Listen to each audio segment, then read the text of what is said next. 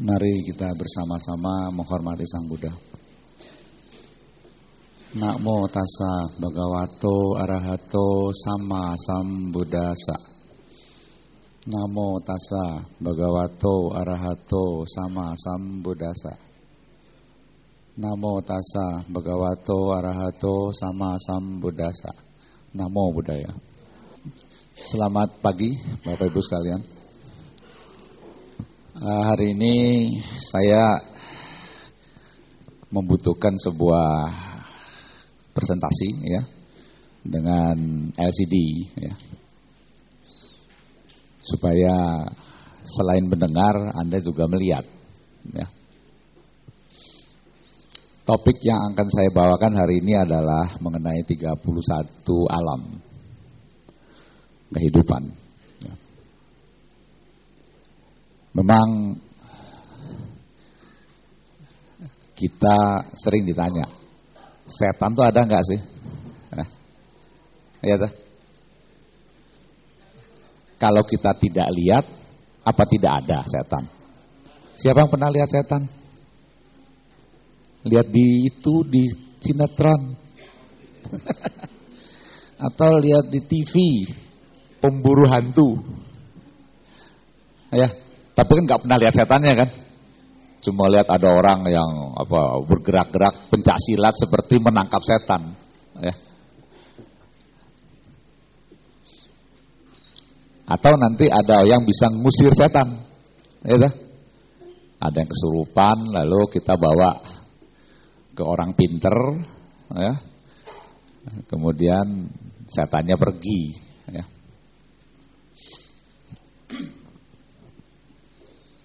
Dulu di belakang rumah saya betulin rumah.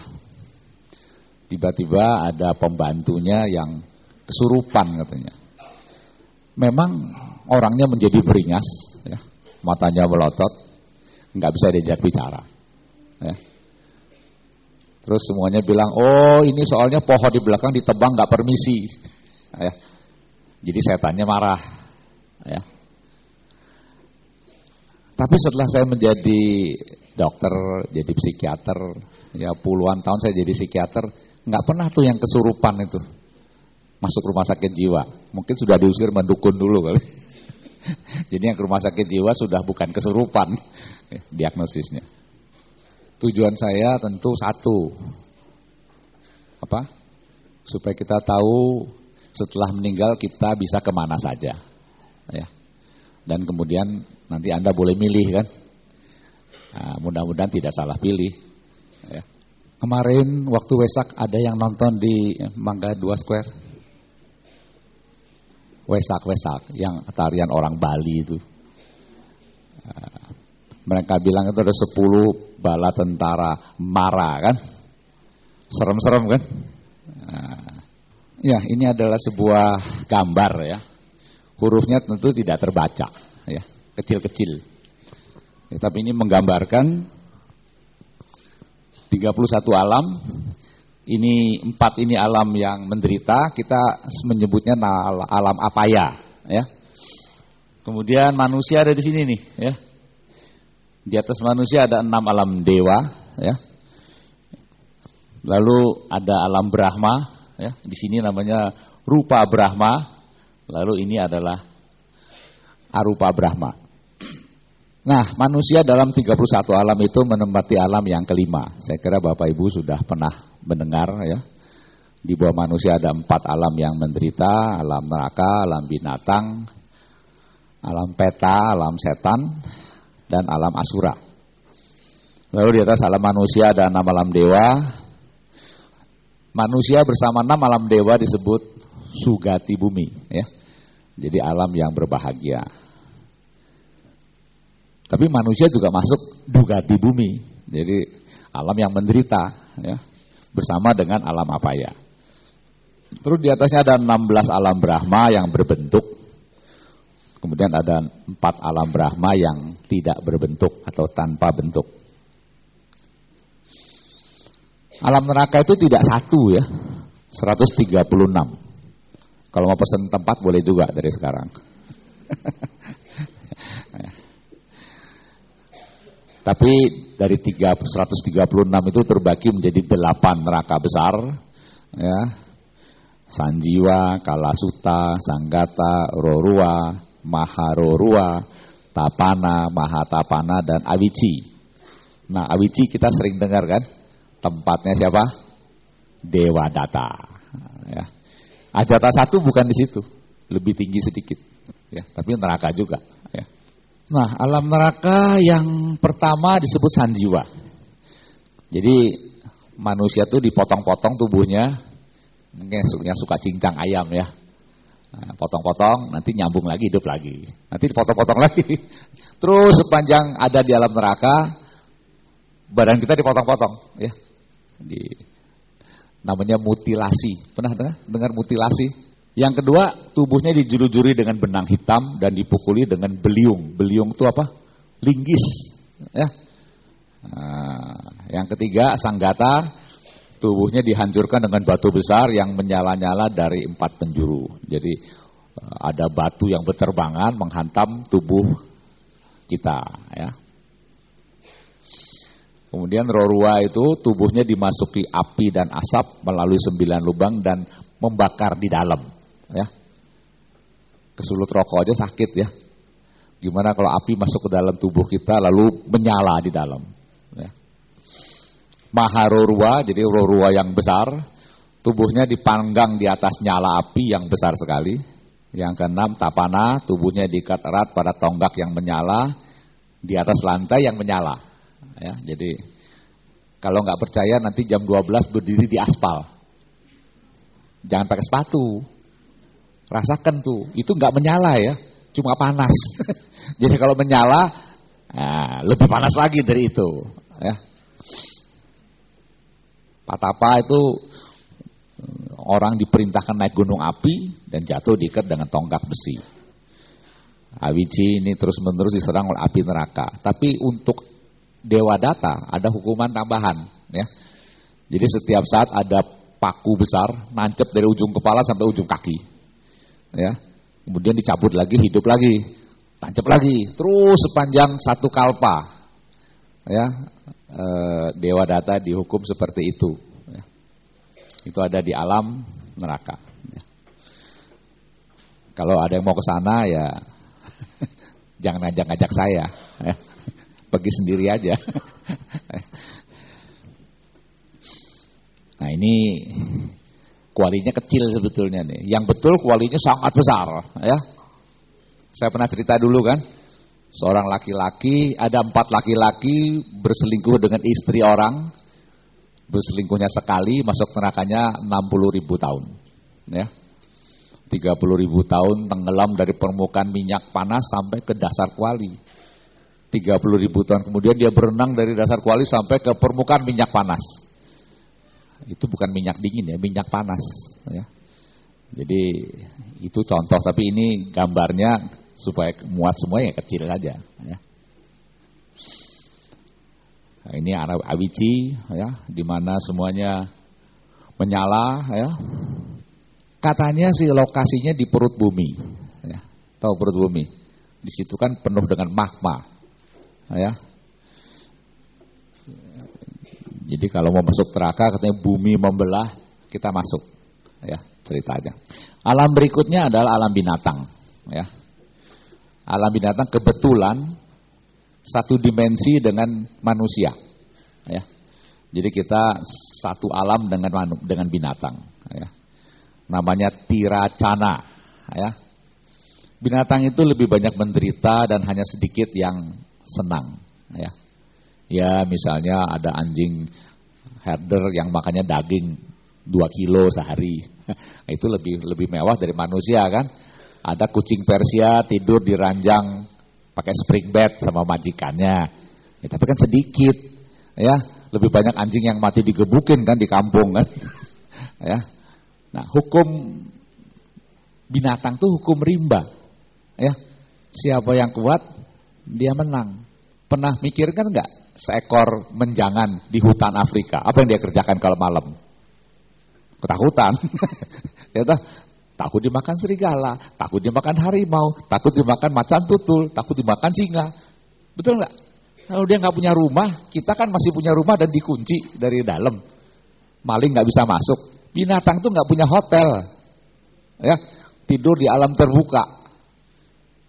Begitupun ikan di laut kan. Ikan kecil dimakan yang lebih besar. Yang besar dimakan yang lebih besar. Yang lebih besar dimakan yang lebih besar. Yang paling besar dimakan manusia.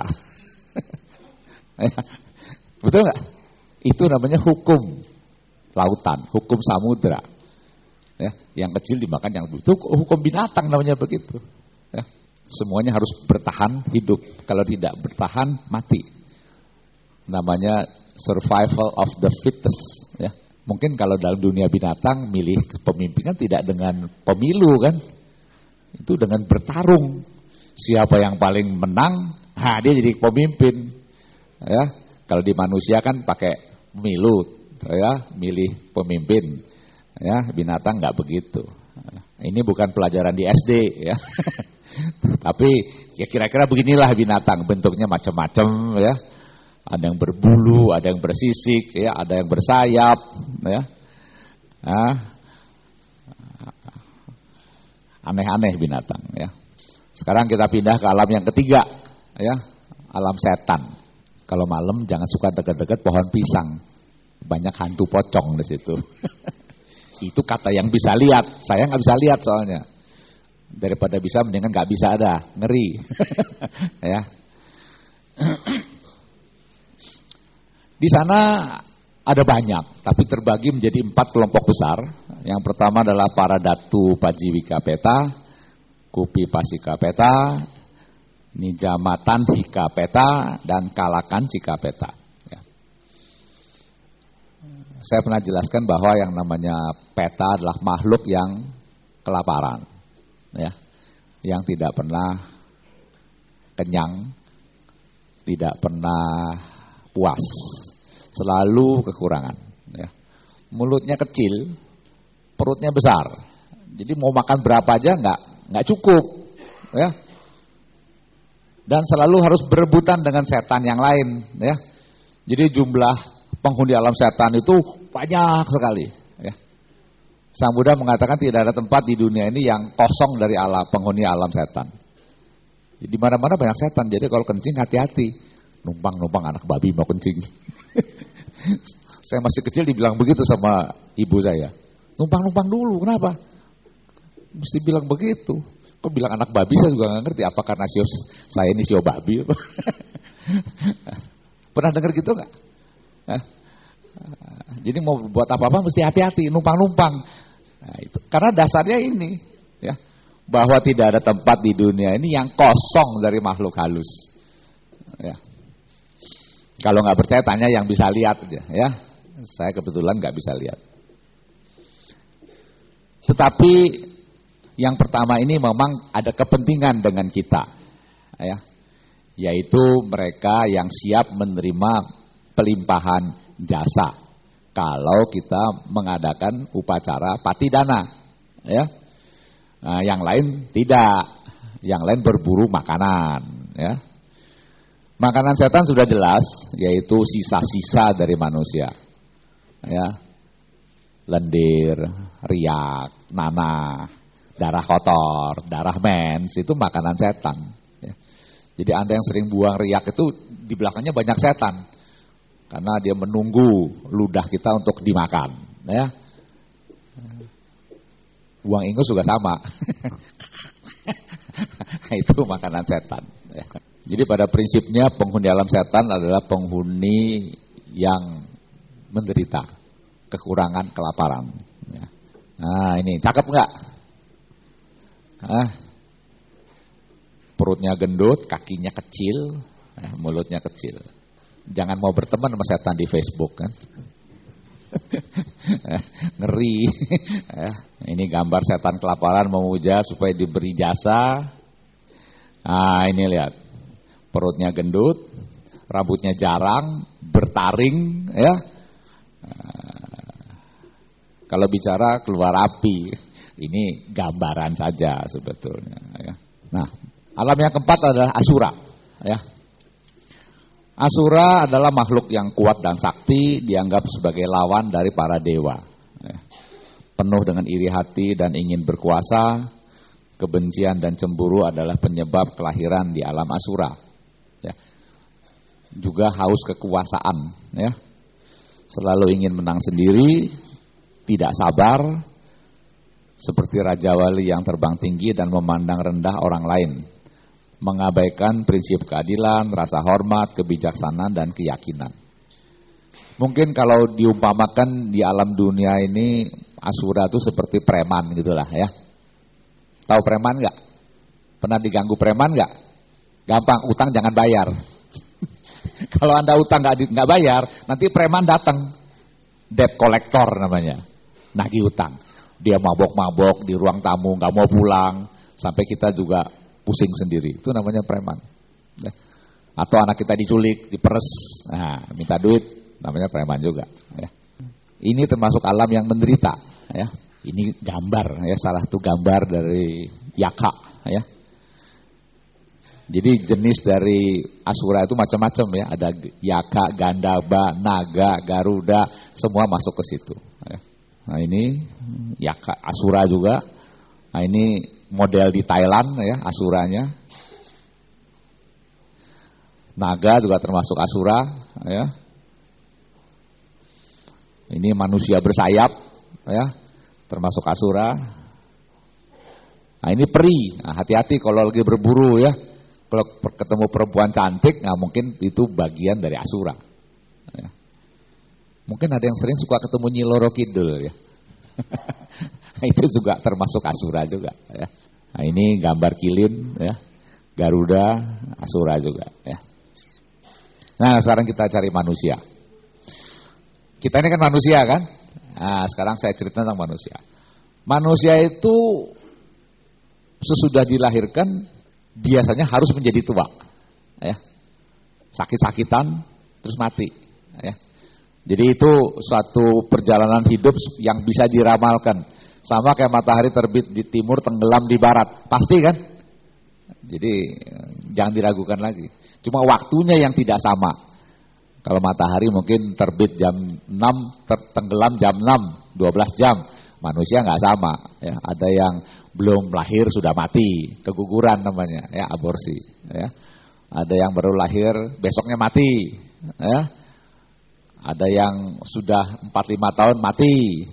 Ada yang 10 tahun baru mati, ada yang belasan tahun mati, ada yang 20 tahun baru mati, ya ada yang udah sekolah kuliah hampir jadi sarjana baru mati ada juga ya. Ada juga umurnya mati 30-an dan seterusnya sampai ada yang mati tua ya. Jadi kalau kita buka koran tuh kan ruang duka cita kan ada yang mati 93, 86, 65 ya toh. Nah, tinggal pilih sendiri mau matinya umur berapa. Di alam manusia kita mengalami suka dan duka ya. Dan alam manusia itu luar biasa karena digunakan oleh para calon Buddha untuk menjadi Buddha. Ya. Jadi semua Buddha tidak mencapai kebudaan di alam dewa, tapi di alam manusia. Ya. Jadi tempat yang khusus untuk melatih diri mencapai tingkat kesucian yang lebih tinggi. Tetapi manusia ini kan masih dikuasai oleh loba, dosa, moha, Nah, jadi lebih suka mencari kesaktian daripada kesucian. Ya, sering-sering aja nonton The Masters. The Master tau gak di RCTI itu mah tukang sulap, bukan sakti beneran itu ya. Ini yang mana yang manusia? Yang tengah apa kiri kanan? yang kiri kanan itu rebusnya kelamaan, jadi hangus. yang di tengah kurang, jadi putih dia. Ya. Kalau mau putih seperti Michael Jackson aja, ya pigmennya dirusak, jadi lebih putih dari tembok tuh Michael Jackson. Ya. Sekarang baru meninggal dunia.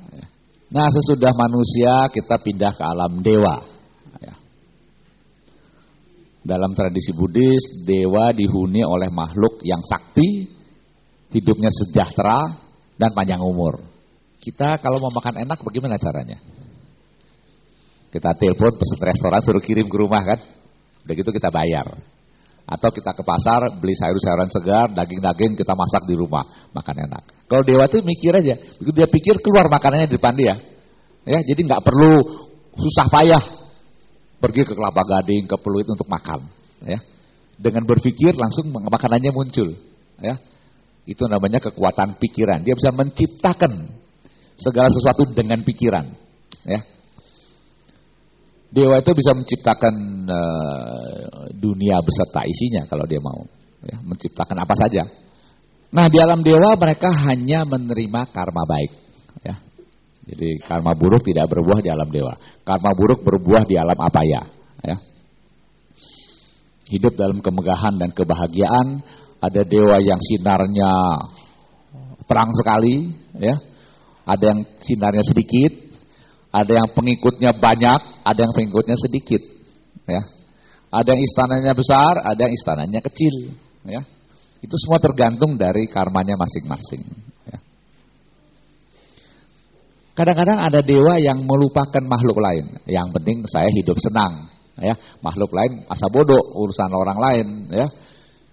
Jadi ada para dewa yang cuek dengan makhluk lain. Sampai karma baiknya habis.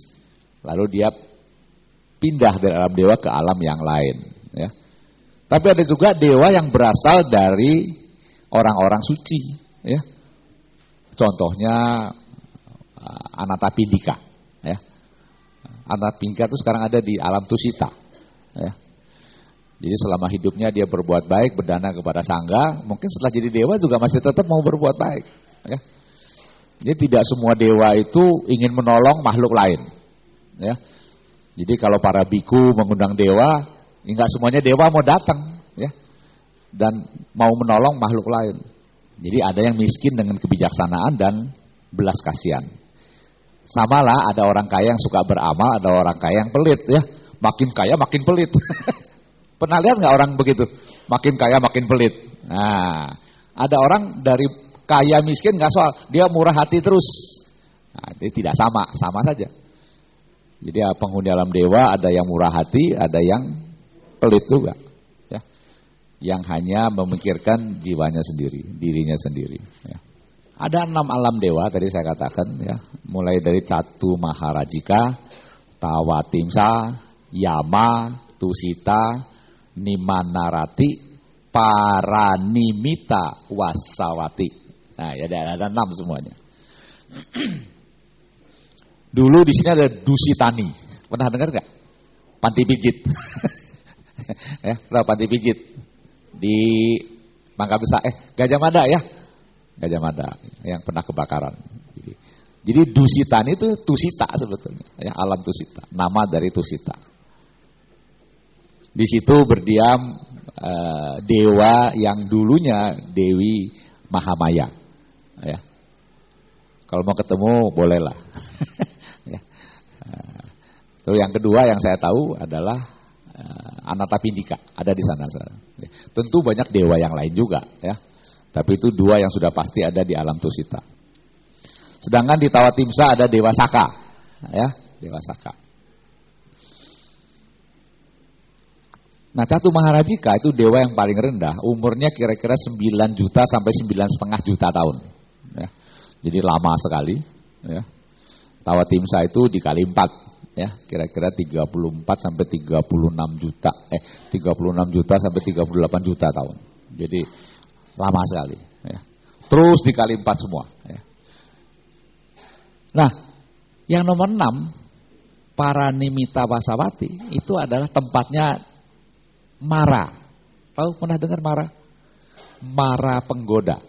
Ya. Jadi Mara penggoda ini menempati alam dewa yang paling tinggi. Dia mempunyai kesaktian yang luar biasa. Ya. Sehingga kalau kita baca di buku-buku, ketika bala tentara Mara menyerang Petapa Sidarta, semua dewa menyingkir semua. Ya, karena memang kalah sakti dibandingkan Mara. Ya. Jadi kalau cuma tanggung-tanggung saja kalah sama Mara. Ya. Jadi jangan main-main dengan Mara. Ya. Mara lebih senang kalau kita bergulat di dalam dunia nafsu. Ya. Dia tidak suka kalau ada orang menjadi suci. Ya. Itu sebabnya semua usaha dari Sang Buddha dihambat oleh Mara. Dihalangi oleh Mara. supaya lebih banyak manusia yang bergelimang dengan hawa nafsu dan tumimba lahir di alam kehidupan. Ya. Itu uh, yang saya tahu tentang Mara. Ya. Nah, sekarang kita pindah ke alam Brahma. Ya. Di India, Sang Buddha itu dianggap sebagai jelmaan Wisnu. Ya. Awatara yang keenam. Jadi saya berani mengatakan, ah di India Sang Buddha turun pangkat. Ya toh? Dari Buddha menjadi dewa kan. Di Asia, Brahma naik pangkat menjadi Sumianfu. Tahu Sumianfu? Eh, dewa diangkat menjadi Buddha. Apa nggak terbalik itu? Ya. Jadi di India Buddha pangkatnya diturunkan menjadi dewa. Di Asia kita naikin pangkatnya dewa menjadi Buddha. Sumianfu. Ya. Jadi mulainya di Thailand dulu ya. Ada perempuan pasang pacuan kuda, dia bernazar, ya tahu nazar. Ya, di depan patung Brahma, kalau ini menang, saya telanjang di sini keliling tiga kali. ya di depan hotel Erawan. Jadi yang pernah ke Bangkok saya kira tahu ya. ya ternyata menang dia. Kepaksa ada dia mesti membuktikan janjinya itu telanjang tiga kali kelilingin patung Brahma. Ya. Setelah itu patung ini menjadi terkenal dan termasuk orang Indonesia datang ke sana minta rezeki ya supaya loterinya kena juga ya. Itu namanya degradasi dari ajaran Buddha itu. Ya, menjadi ini yang namanya berhala ya. Mengharapkan uh, dapat hoki dengan sembahyang saja minta. Kalau kita tidak hati-hati dikuasai oleh loba dosa moha kita akan turun ke alam apa ya? Dekat dengan api ya panas Nah, kalau kita mau lahir jadi manusia lagi dan masuk surga, kita harus banyak melakukan dana dan memiliki sila yang baik. Ya. Nah, kalau rajin meditasi dengan samata mencapai jana, bisa masuk alam rupa dan arupa Brahma. Tapi ini masih belum keluar dari lingkaran kehidupan. Ya.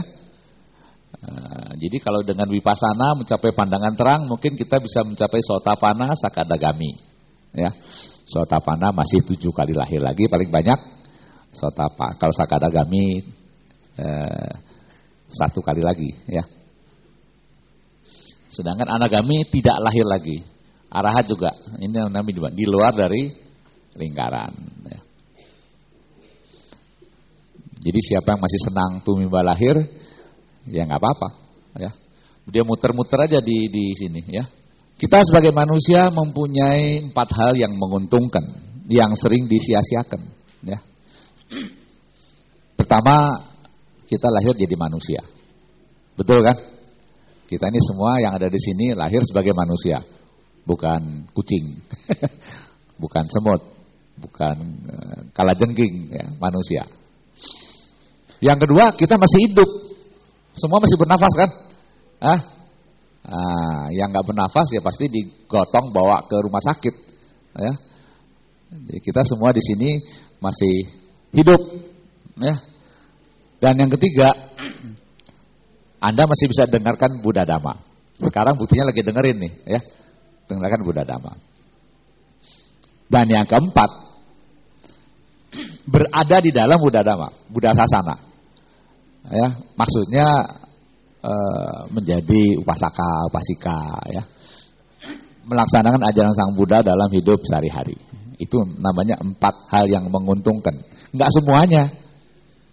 Umat Buddha di Jakarta misalnya adalah misalnya satu juta orang. Yang kebiarakan cuma sedikit. Ya kan? Yang jadi yang KTP-nya Buddha banyak, tapi yang jadi upasaka sedikit. Gitu. Itu namanya dia beragama Buddha tapi tidak berada di dalam Buddha Dhamma. Ya. Sehingga keuntungan itu menjadi sia-sia. Ya. Nanti udah hampir mati dipindahin agama lain. Nah, nanti udah mati nyasar di sana, ya. Tersesat di alam halus. Ya. Nah, tadi yang menguntungkan sekarang ada delapan yang merugikan. Pertama lahir di alam neraka. Ya pasti nggak bisa belajar dhamma lah ya tersiksa, kesakitan, kepanasan nggak mungkin. Yang kedua lahir di alam binatang, ya. Nggak ada binatang jadi upasaka kan? Eh, nggak ada. Yang berdana juga sedikit binatang. Ya. Yang ketiga, lahir di alam peta atau asura. Yang keempat, lahir di alam asanya sata. Asanya sata ini adalah alam Brahma, di mana makhluknya itu selama di alam Brahma itu hanya apa? Menjadi batu, ya tidak berpikir, otaknya tidak jalan, ya, jadi nggak bisa belajar dhamma juga, ya. Jadi masa yang begitu lama hanya menjadi batu, ya. Mungkin sebelum Sun Gokong gitu kalau ya, jadi batu gitu ya. Nah kemudian yang berikut lahir jadi manusia tapi di tempat yang tidak ada Buddha Sasana. Lahir di tengah hutan. Hidup sama monyet-monyet ya yang nggak bisa belajar dhamma. Ya. Kemudian yang keenam lahir sebagai manusia tapi punya pandangan keliru. Ya. Tahu pandangan keliru? Nah, banyak lah, saya nggak bisa cerita satu-satu. Ya, lain kali saya cerita. Ya. Nomor tujuh, lahir sebagai manusia, namun dengan cacat jasmani dan berpandangan keliru. Ya, cacat jasmani kan macam-macam ya, bisa terbelakang, ya, bisa buta, tuli, nggak punya ini, nggak punya itu, dan seterusnya. Atau kembar siem, ya, tahu kembar siem? nempel sama orang lain. Ya. Nomor delapan, lahir sebagai manusia, namun dalam masa tidak ada Buddha. Ya tentu nggak bisa belajar Buddha Dhamma. Ya. Seperti kita tahu, zaman Buddha Gotama ini hanya 5000 tahun. Ya. Sekarang sudah 2600 tahun, sisanya 2400 tahun. Ya, sesudah itu nggak ada agama Buddha. Ya. Nah, nanti manusia akan seperti hewan, ya apa yang mau ambil, nggak dikasih puk bunuh yang melarang. Gampang kan? Kayak binatang begitu ya. Nanti umur manusia menjadi semakin pendek sehingga tinggal 10 tahun. 5 tahun kawin, 10 tahun mati, ya. Kuliahnya kapan ya? 5 tahun kawin, 10 tahun mati, kuliahnya kapan?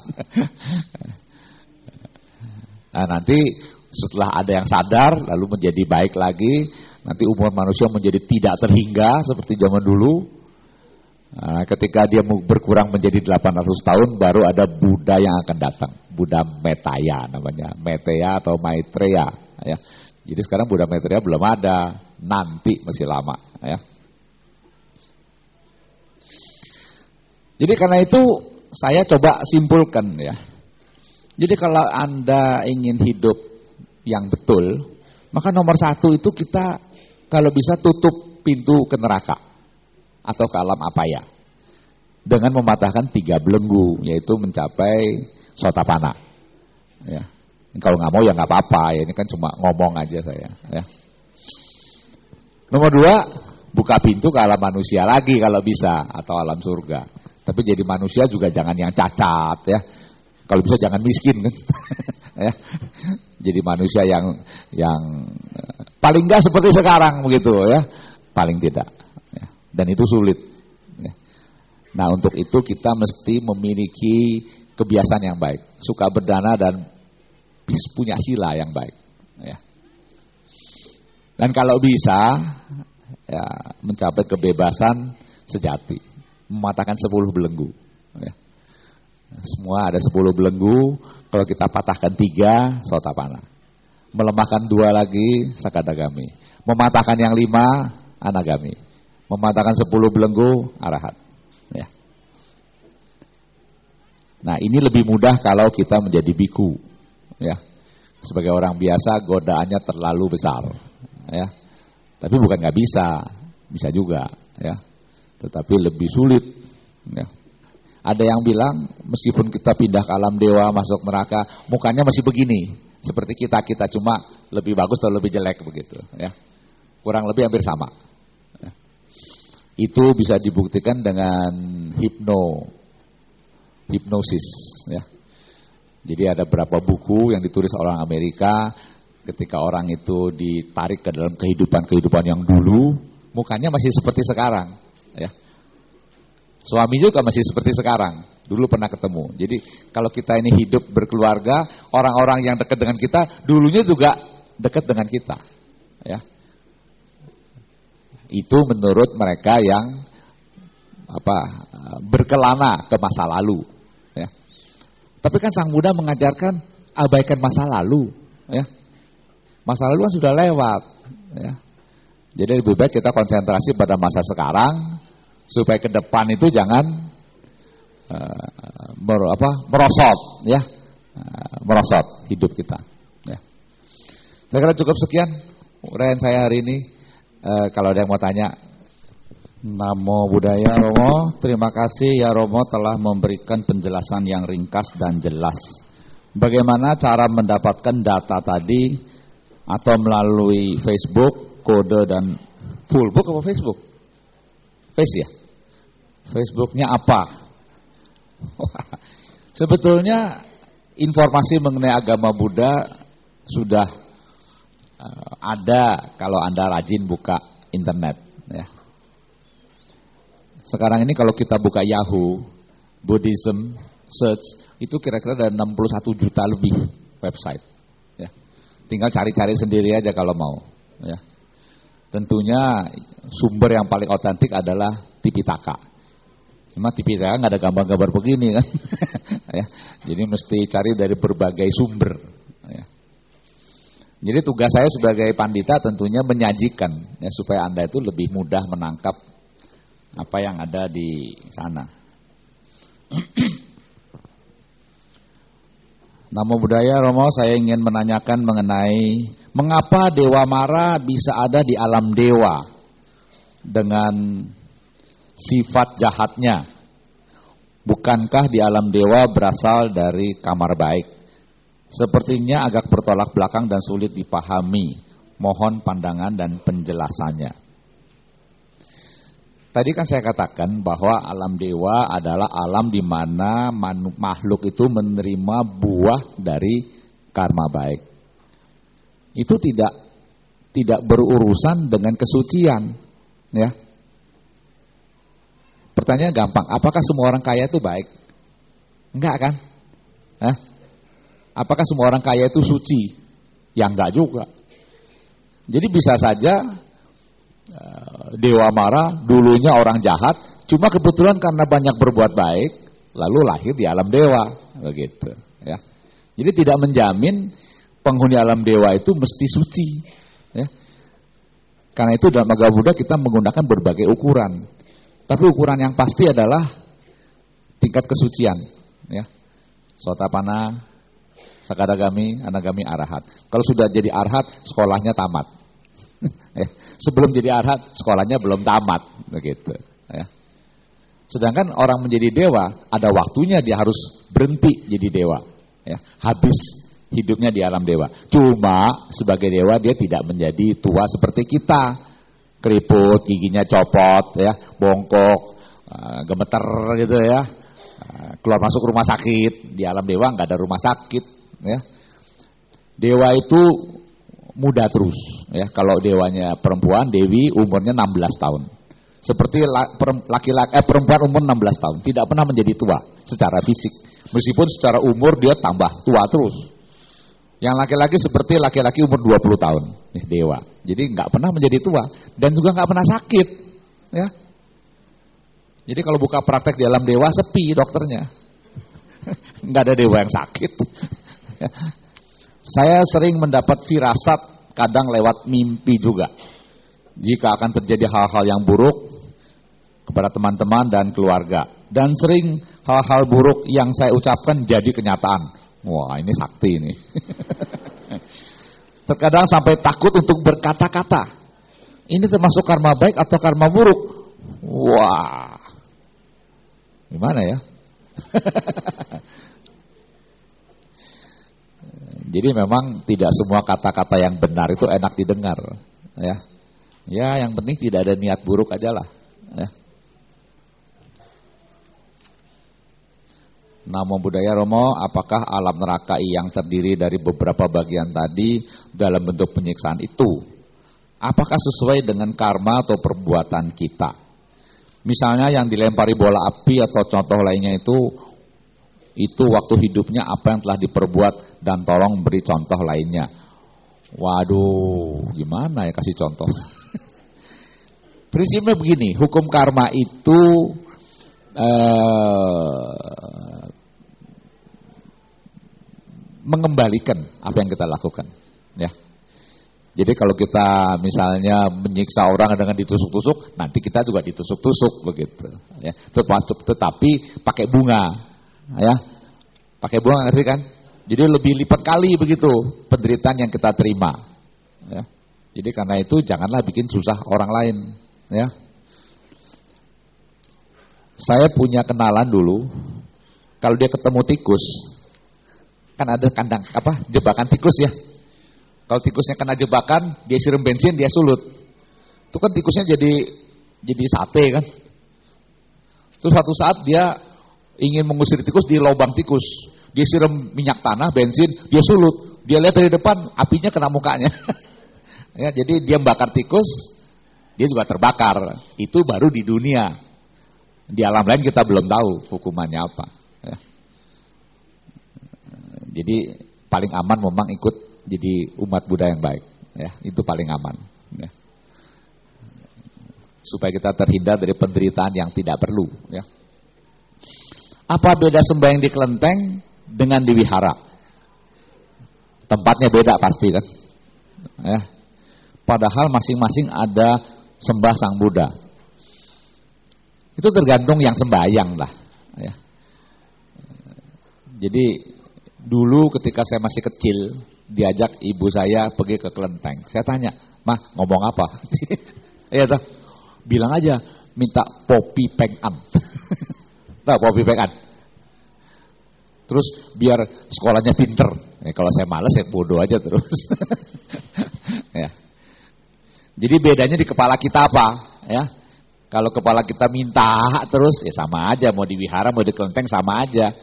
Ya, Tadi Dewanya bilang ini orang kok minta melulu, kapan ngasihnya? Gitu ya. Jadi sebagai umat Buddha kita harus merubah pola meminta menjadi pola memberi. Ya. Jadi kalau kita ke kelenteng, ke wihara, ke mana saja, ah, ke tempat yang serem-serem juga sama. Semoga semua makhluk berbahagia. Gitu. Nanti kita punya banyak teman. Ya itu tadi peta asura jadi teman kita semua kan. Mau nggak punya teman peta asura? Mereka itu punya kemampuan memperlihatkan diri kepada kita.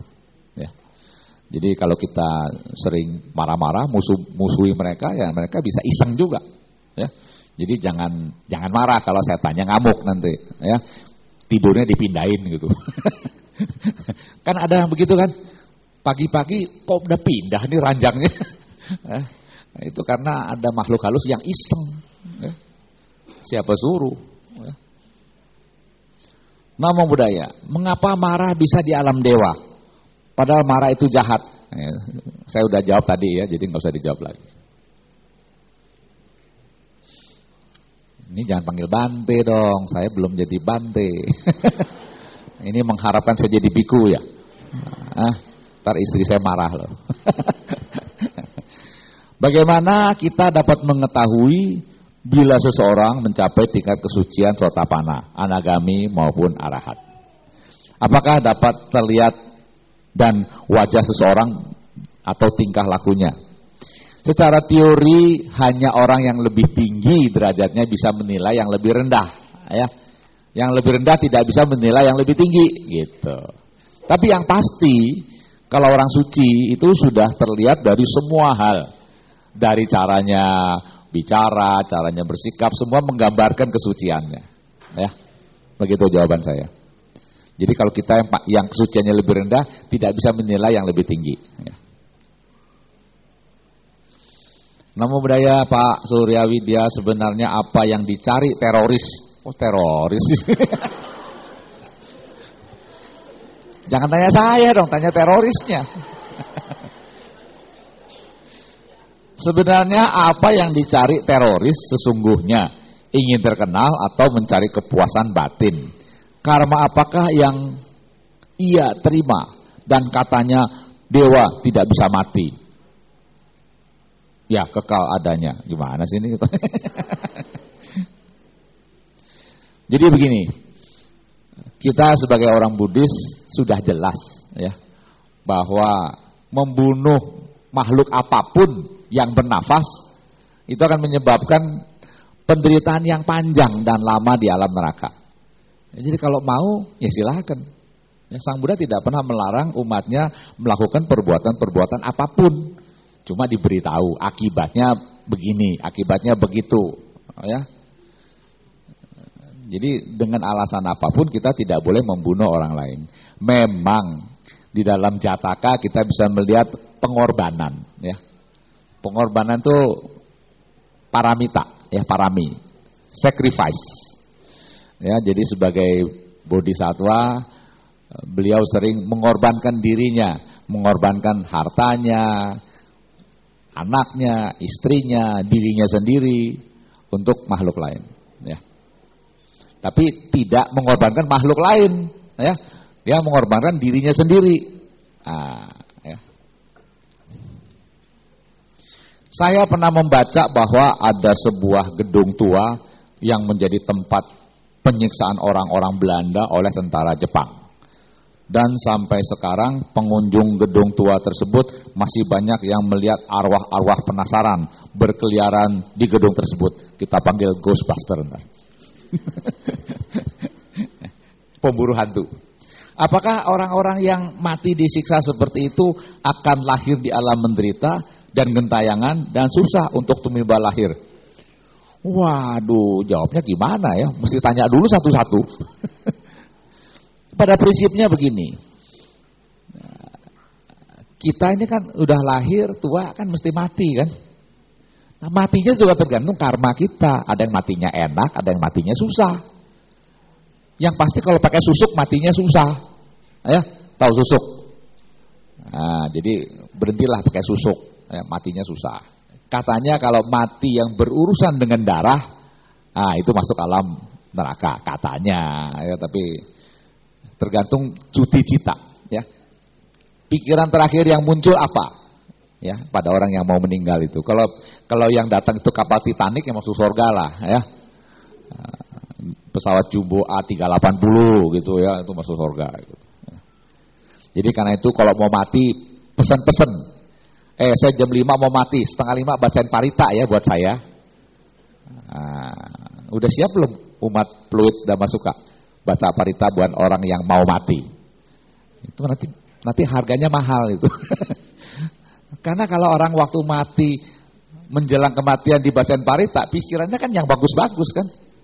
Nanti dia meninggal di alam yang lebih bagus, begitu. Teorinya begitu, ya. Pak mau tanya, Buddha berkata, abaikan masa lalu, ingat masa sekarang. Apakah masa lalu kita sukses dan berhasil dan masa sekarang gagal. Apa mungkin kita tidak terkenang pada masa lalu? Itu namanya mimpi kan. Kalau orang yang dulunya kaya sekarang miskin, dia bayangkan waktu dulu dia kaya terus. Tapi kenyataannya sudah miskin kan. Nah, daripada mimpi lebih baik bersikap realistis ya. Prinsipnya begini, masa lalu sudah lewat ya.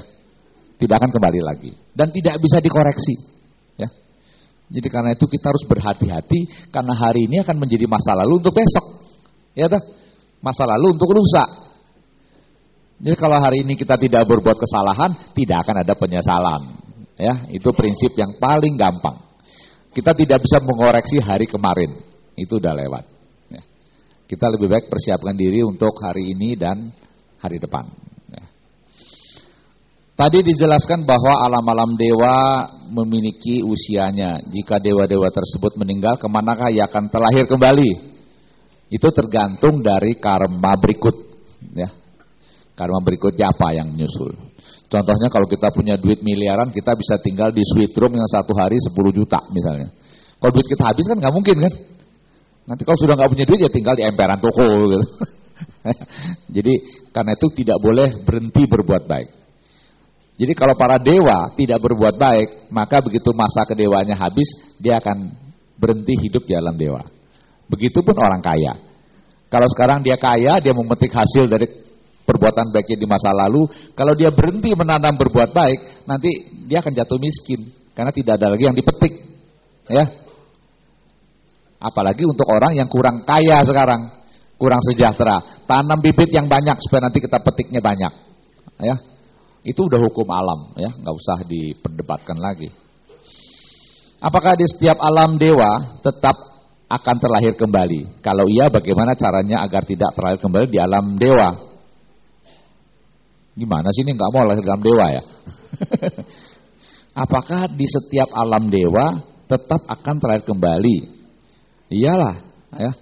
Kalau iya, bagaimana caranya agar tidak terlahir kembali di alam dewa? Nggak ngerti saya pertanyaannya. Jadi prinsipnya begini, e, meskipun dewa itu umurnya panjang sekali, tapi dia juga ada waktunya untuk meninggal meninggal, ya, bukan meninggal dunia. Jadi artinya berhenti hidup sebagai dewa. Dan kalau dewa itu berhenti hidup itu langsung hilang, ya Nggak kayak kita ini dikremasi atau dikubur, nggak ada. Langsung hilang aja badannya, ya. Pindah ke alam lain tergantung dari perbuatan baik atau buruk. Pertanyaan terakhir. Saya mau tanya, apakah hanya orang beragama Buddha saja yang akan merasakan 31 alam jika nanti meninggal? Apakah agama lain tidak? Terima kasih. Saya tanya, apakah ada api yang beragama Buddha? Kalau orang orang Buddhis kebakar, hangus, agama lain tidak kebakar gitu. Ada nggak? Nggak ada. Ya. Jadi Sang Buddha ini menemukan dhamma yang sudah ada di alam semesta. Dia tidak menciptakan agama baru. Ya. Jadi 31 alam berlaku untuk semua makhluk. Ya. Makhluk apa saja. Ya. Harus mengikuti hukum ini. Jadi 31 alam tersedia untuk semua makhluk. Tidak hanya makhluk manusia, makhluk dewa dan semuanya, ya. Saya kira itu yang saya jelaskan. Kalau ada yang kurang kurang jelas angkat tangan. Atau tanya lagi? Atau lain kali tanyanya ya.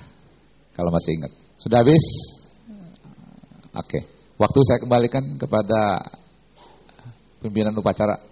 Sampai bertemu di lain kesempatan ya. Semoga Anda semua bisa lahir di alam dewa semua. Enak kan? Tapi tetap berbuat baik. Ya, setelah menjadi dewa tidak boleh berhenti berbuat baik, tetap berbuat baik. Ya. Namo budaya. Namo budaya. Namo budaya. Namo budaya. Namo budaya. Namo Buddhaya.